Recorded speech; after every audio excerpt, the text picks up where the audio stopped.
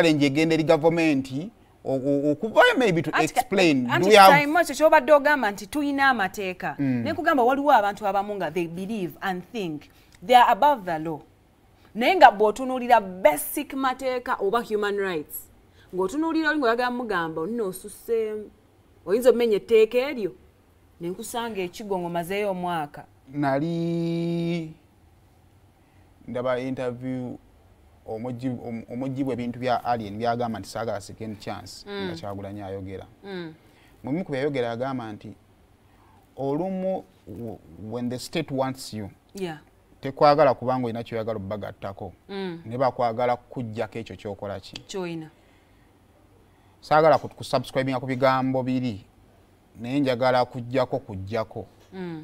Whatever is happening right now kijjako e- alien ekyobugagga kye be bantu bino. Ate already alina obukubagano ne saidi eno. So saidi side ye tuyinza obutagendayo because uh, ki- okukubagana nabo kiyinza obutamugjako bantu oba- oba mubamuggyako. Naye kino kati aba akubagana direct n'abantu. Yes.